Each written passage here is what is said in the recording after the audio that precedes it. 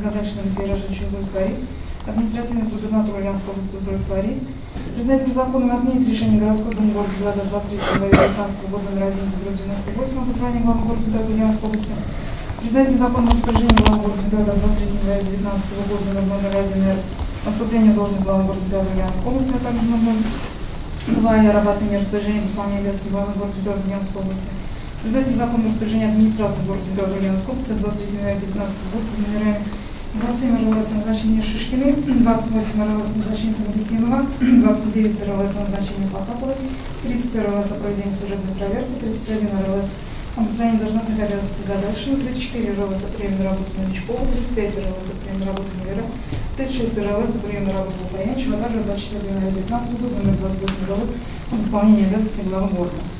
Решение может быть обжаловано в коррекционном порядке.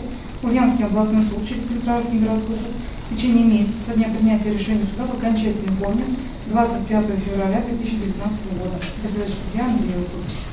Решение суда понятно? Понятно. Срок обжалования понятен? Разъясняю также право ознакомления с протоколом судебного заседания, результативного отчета по через 4 дня протокол будет подготовлен, имеет право принести замечание. Право понятно?